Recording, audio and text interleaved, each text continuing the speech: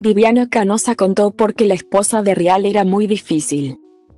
Ha transcurrido mucha agua bajo el puente en esa tirantez entre Viviana Canosa y Jorge Rial quienes supieron navegar juntos y que luego bifurcaron sus cauces para convertirse durante un largo tiempo en competidores directos.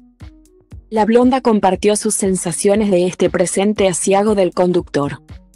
El creador de Intruso superó un infarto, al menos eso se presupone por la ausencia de partes médicos oficiales. Sí como salió de una operación de urgencia del corazón en Colombia.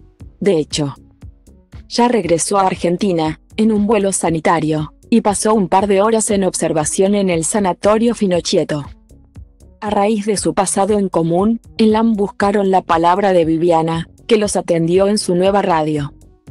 Y consiguieron algunas declaraciones llamativas, que no se conocían, principalmente en cuanto a su picante opinión de Silvia Dauro, la primera esposa de Rial. En primera instancia, la periodista aportó su reacción al enterarse del drama de salud de su ex jefe, me pareció muy fuerte. Me quedé como en estado de shock cuando en las redes decían que se había muerto. Me impactó, son cosas fuertes.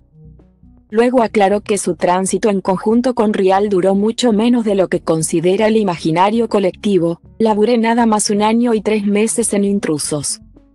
Fueron intensos. Somos grandes, está todo bien. Ante lo cual el cronista le consultó, comillas llevaba una vida ordenada en esa época.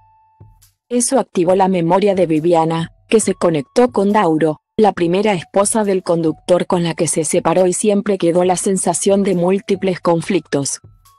Y manifestó, no lo vi ni tomando ni fumando. Lo conocí con su primera mujer, era bastante difícil esa relación. El mobilero ironizó sobre lo que le convenía a Jorge para amenizar ese vínculo convulsionado con Silvia, era mejor chupar y fumar. Así llegó la frase muy picante de Canosa respecto a la mujer de Jorge, era mejor chupar. Fumar y drogarse inclusive. Era una relación difícil.